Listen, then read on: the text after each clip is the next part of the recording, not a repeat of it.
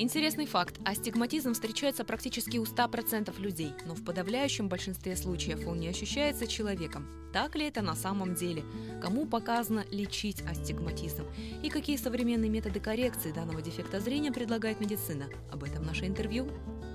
Владимир Васильевич Кашников, главный врач офтальмологической клиники, доктор медицинских наук, академик Российской академии естественных наук и Академии медико-технических наук, заслуженный врач Российской Федерации, стаж работы 36 лет. Владимир Васильевич, в чем проявляется астигматизм? На что жалуются пациенты? Человек видит нечетко, туманно.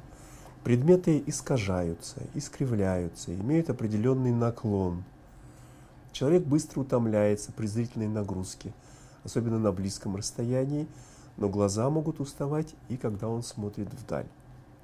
Это, в свою очередь, может вызывать даже головные боли. Верно ли утверждение, что астигматизм встречается практически у 100% людей?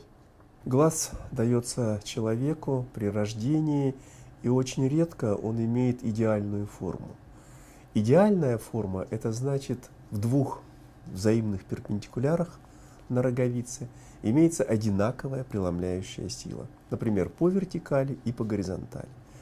Если же эта сила разная, это уже будет астигматизм. И если такая ситуация возникает при рождении, то у человека глаз недоразвивается, глаз ленится, развивается амблиопия или слепота от бездействия. В этом случае глаз не работает в полную силу и у ребенка может развиться косоглазие. В этом случае обязательно нужно обращаться к врачу. И хочу подчеркнуть, что обязательно ребенок осматривается офтальмологом в первые три месяца. Затем ближе к году жизни.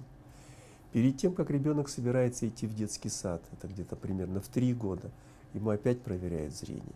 Обязательно проверяется зрение перед тем, как он собирается идти в школу. А в школе уже зрение проверяться должно ежегодно. Насколько значим факт наследственности в данном случае? Как правило, наследственность играет главную роль. Мы различаем астигматизм врожденный и астигматизм приобретенный. Если у родителей имеется все-таки астигматизм, значит с большой долей вероятности у ребенка тоже будет астигматизм. А приобретенный астигматизм – это астигматизм, который возникает в результате травм, например, глаза в результате каких-то операций, которые перенес человек, опять же, на глазу. И в этом случае тоже имеются специальные методы лечения данной патологии. Говорят, что сегодня такой дефект зрения встречается все чаще. Быть может, методы диагностики стали более совершенными?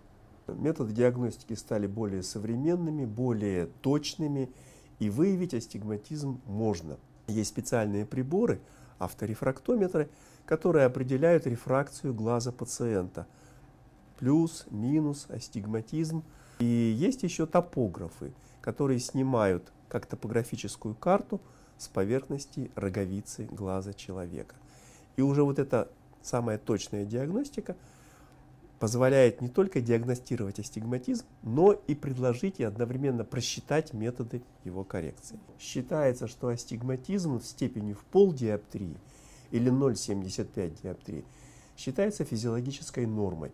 Он не требует ни очковой коррекции, ни контактной коррекции, ни каких-либо хирургических методов лечения.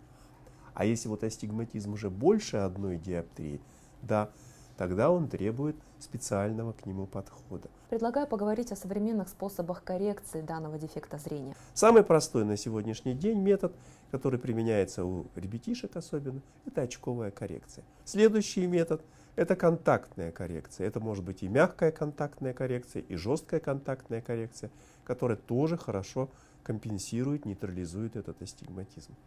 И, наконец, самым современным методом лазерной коррекции является лечение астигматизма.